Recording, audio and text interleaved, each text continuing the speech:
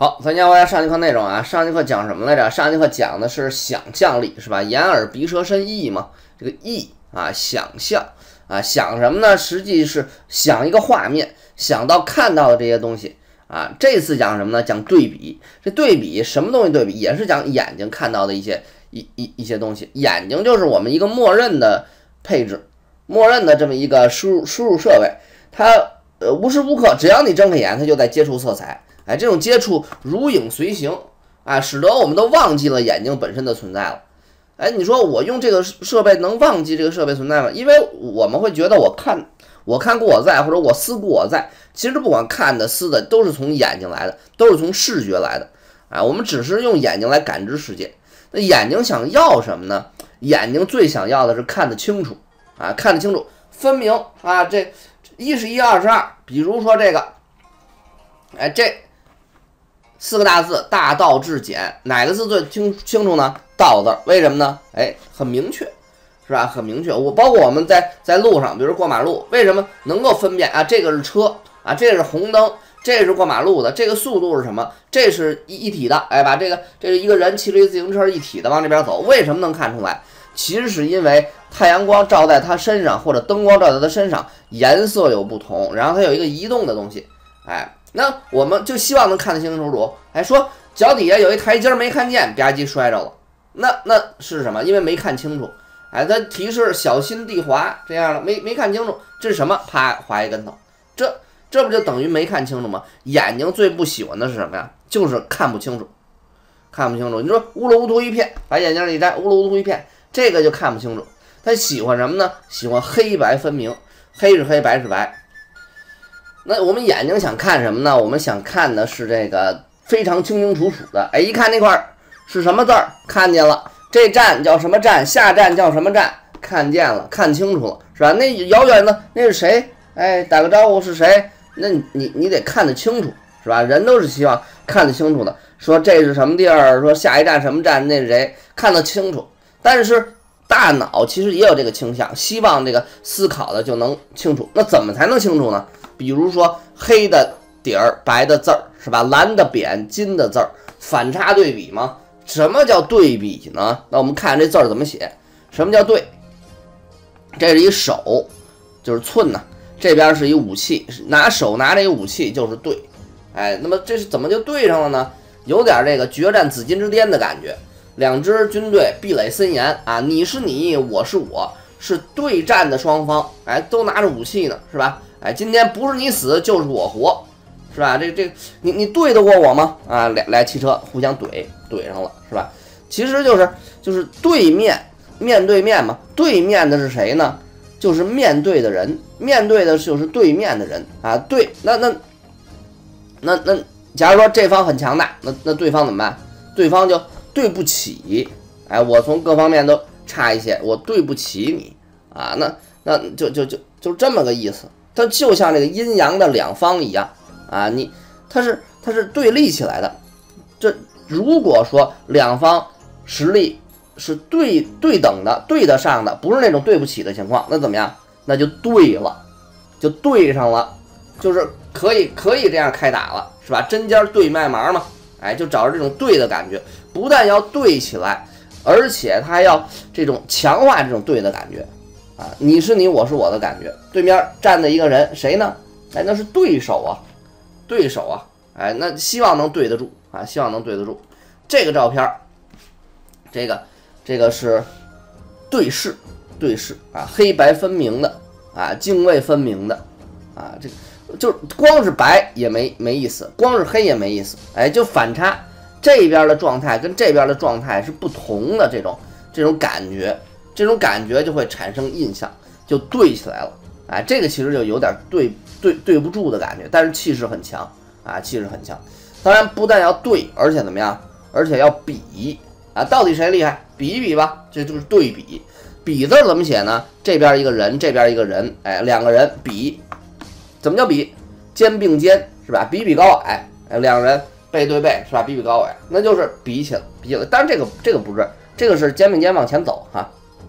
比嘛，就是比肩，我跟你比肩啊，我们是比邻而居的啊，比翼齐飞啊，就是比就是一样，这个东西和这个东西是一样的，哎，所以它一样的东西就可以就可以呃比喻说这个东西就好比那个东西。那比如说有什么比喻呢？比如说地球，地球就好比我们的母亲一样，是吧？就是比嘛，有这种关联性，有相似性，在某些方面，哎，是这种这这种这种关联的。那一个一个又一个，好几个挨在一起，那是什么呢？那就是排比了，是吧？排着比，比成一个排了啊，比成一个排了。这个比不但要对，而且呢要对比对比，这是比肩的啊，比翼兽，比翼兽。啊，就像俩人似的，一起走，一起走，啊，那那比出的结果怎么样呢？两边势势均力敌，对上了，对得住，对得上，那就是什么呢？就是立得住，全都你不你不能压倒我，我也不能压倒你，彼此都能立得住，那就是对立，啊，对立。这是一个人站住了，他不是说那边把那个打派了，哎，但是他这个打的过程也是，你说黑颜色和白颜色有没有打呀？某种程度上，它这里面是有一些这种。斗争的成分的啊，就是不是东方压倒西方，就是西方压倒东方。比如说这是什么？哎，两只巨猿在打啊，两只巨猿在打。他们打的时候就是就是为什么我们现在有个词儿叫这个怒发冲冠呢？就是就是就是因为他们如果说看，我觉得我也很大，你我觉得我也很大，彼此都觉得很大的话，他们就打不起来，都是靠那个头发。你看那个这个。他这个一个群落里面总有一个就是头发就是显示出他是老大这么个状态的。他为了显示他自己是老大，他这个头发都要直立起来啊，这个叫什么怒发冲冠嘛，是吧？这个不是很柔顺的，根根直立，显得头发长，头发长脑袋就大，脑袋大就更厉害。哎，这个这个就是就就就这么一个一个一个一个情况，是吧？就这么一个情况。那这个如果说真的能够立得住。啊，原来是这个东，就是你哥哥硬钢镚儿嘛，不是这面朝上就是那面朝上。你要真让它平衡起来，让它立住了，哎，就是一种新的东西，就是创立的东西，就是一种立起来了。那想立的双方呢，一定是平衡的，是吧？一定是得得对对得住的双方啊，不是东方压倒西方。是吧？就是西方压倒东方，不是这一队胜了，就是那一队胜了，啊，不是你死就是我活，是吧？这种、这种、这种，就是产生了一种对比的强烈，对比的强烈。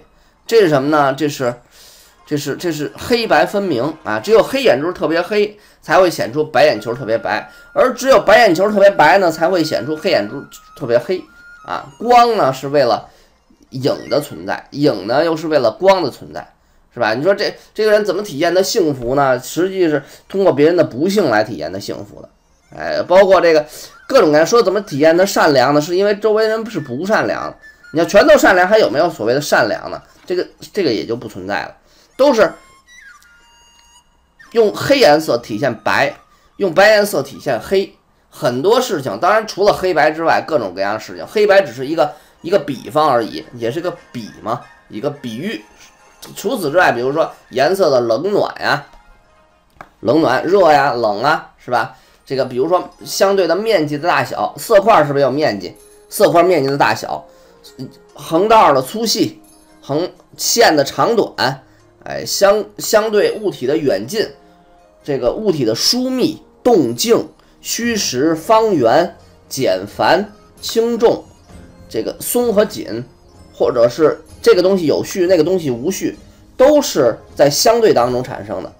比如说，我们的世界也是。你说这个人他怎么体现他非常男人的一面呢？是通过呃，这个他总是相对于女人才有所谓的男人，对不对？如果没有所谓的女人，也就没有所谓的男人，是吧？怎么体现这个这个上下之类的，或者贵贵和贱之类的，总是相对的，总是相对的，在相对当中产生一些比较。啊，最根本的比较，作为颜色来说，就是黑白。黑是全吸收，白是全反射。啊，我们的传统绘画就是黑白。所谓黑白呢，就是阴阳。黑颜色就是阴的一面，白颜色呢是阳的一面。阳就是热，就是太阳嘛，太阳就热，是阳面的，晒着的，主动的，明亮的，热烈的，刚猛的，刚强的。阴就是不是，阴就是就是。太背阴的那一面，就是月亮似的，就是被动的，它它不不主动，是隐晦的，是冷的，是柔和的。阴和阳是两面，我们说黑白是对比，但是这个真正的黑白其实也是可以融合的，也是可以调和的。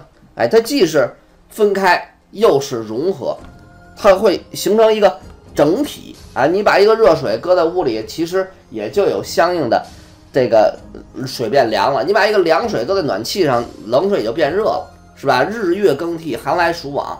刚柔相推而生变化，这个阴和阳总是不断的转化过程中的，这个正负为基，善负为腰，就是这个阴和阳之间是相无极，亦有太极，始生两仪嘛。两仪就是黑和白，就是阴和阳，知道有差别，能够看到黑是黑，白是白，黑白分明的这种能力是智力，能够判断是吧？这个这个，哎，知道这是这样的规律。